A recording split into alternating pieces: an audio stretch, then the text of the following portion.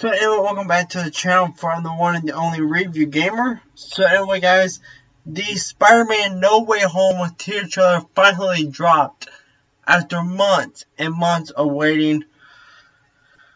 So anyway, I've decided to do a reaction video to Spider-Man No Way Home. The brand new Marvel movie set inside of the Marvel Cinematic Universe. Um, so I am actually before the release date of the Blu-ray and DVD of uh, Spider-Man No Way Home, I will be watching uh, all three Tobey Maguire films made by Sam Raimi. So Spider-Man, Spider-Man 2, and Spider-Man 3. I'm watching both of the Mark Webb movies, which includes The Amazing Spider-Man and The Amazing Spider-Man 2, including the two previous Jon Watts uh, Spider-Man movies, which is part of the, well, officially calling it the Spider-Man Home trilogy, for including but not limited to Spider-Man Homecoming and Spider-Man Far From Home. I will actually be including Spider-Man into the Spider-Verse into this lineup, considering I think the Spider-Man into the Spider-Verse might actually work really good within the um, multiverse that Marvel is doing with both uh, Spider-Man No Way Home and Doctor Strange and the Multiverse as Madness as well as in uh, WandaVision. So let's get into reaction for Spider-Man No Way Home. Alright, Peter, MJ,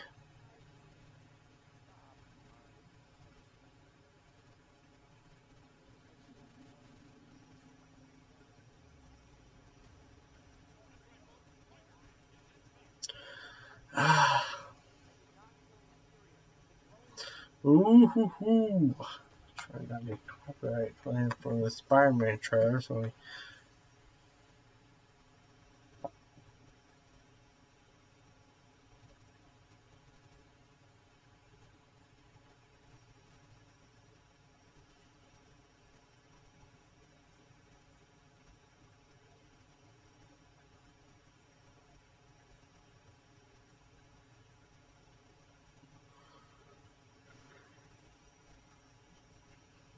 Mm, I'm sorry.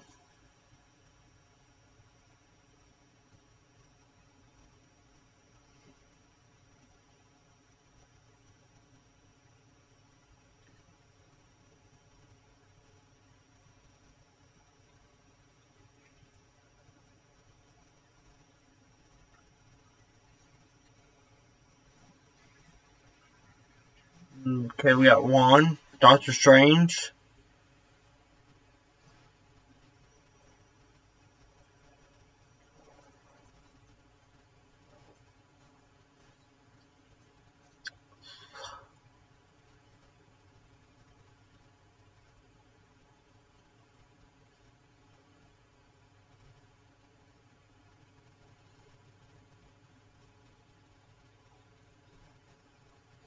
Wonder, wonder that's what set up the multiverse.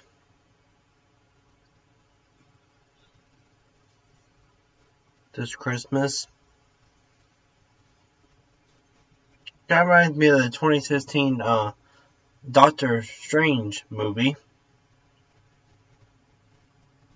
A little bit of 2004 Spider-Man 2 reference. Infinity War.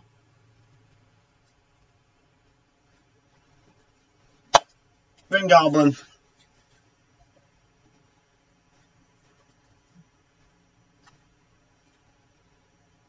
Doc Ock.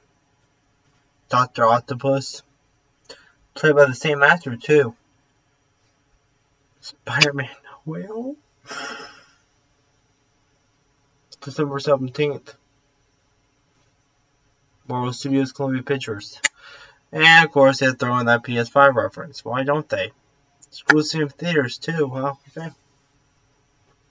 So anyway, let's talk about the trailer.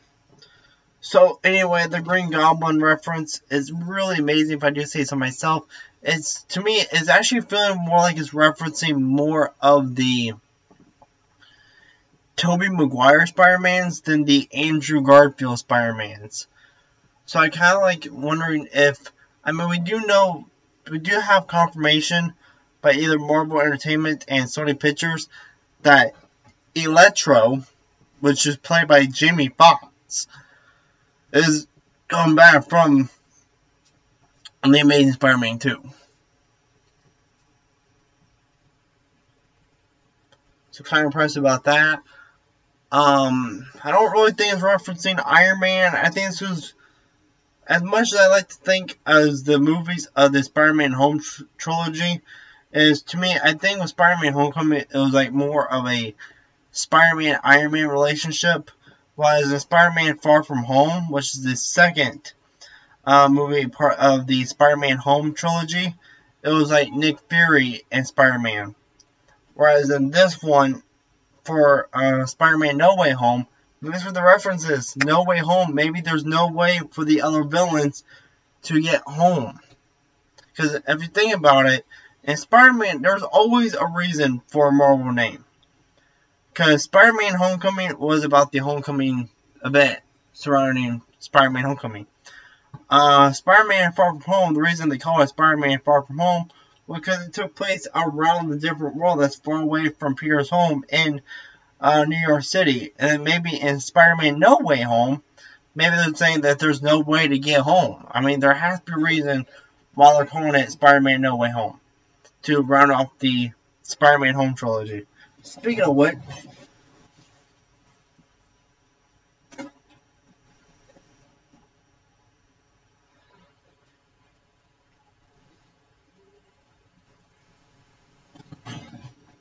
I normal movies I'll be watching through the course of the release date.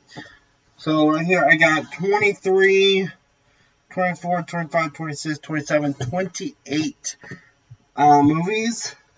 Most 23 of them are by the MCU. Um, so some of the ones I'll be watching includes the very first Spider-Man movie, uh, starring Tom Maguire.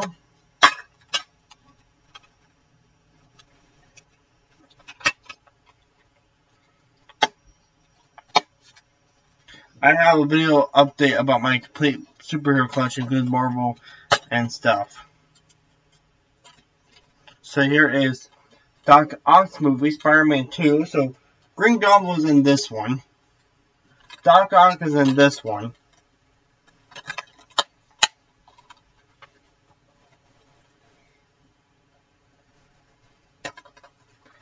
Sandman and Venom was in Spider-Man 3, but I don't think Venom be part of uh, Spider-Man No Way Home.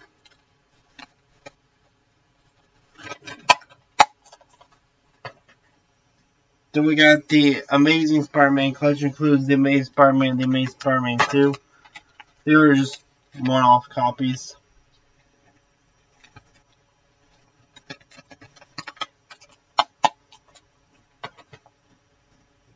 If you want to see the disc on these ones, I have a complete video series uh, I have like total like four or five videos dedicated just to the MCU lineup. So yeah, Phase 1, which includes Iron Man, The Incredible Hulk, Iron Man 2, Thor, Captain America the First Avenger, and The Avengers. We have Phase 3, which includes Iron Man 3, Thor the Dark World, Captain America the Winter Soldier, uh, Guardians of the Galaxy, Avengers Age of Ultron, and Ant-Man.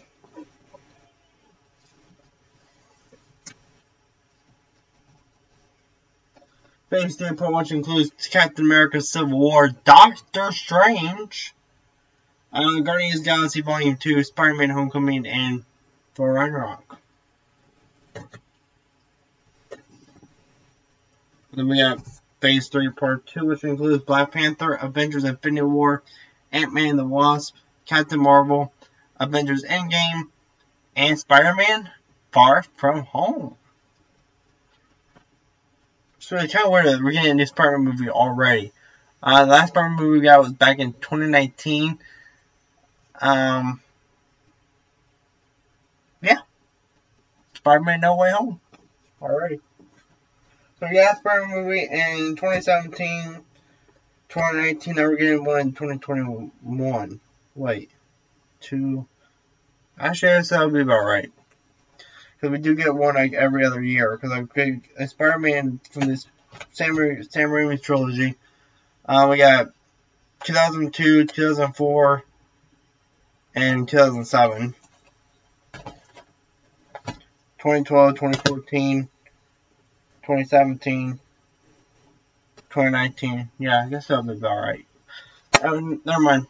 So, guys, thank you guys for watching. Let me know in the comments, comment section down below on what you guys think of uh, the Spider-Man No Way Home official teaser trailer released by Marvel Entertainment and Sony Pictures. So, anyway, needless to say, I would give this trailer an, an, an A+. plus. Really outdone trailer. One of the best trailers I've ever seen in Marvel cinemas. See you guys next time on the next episode of Review Gamer. Stay tight.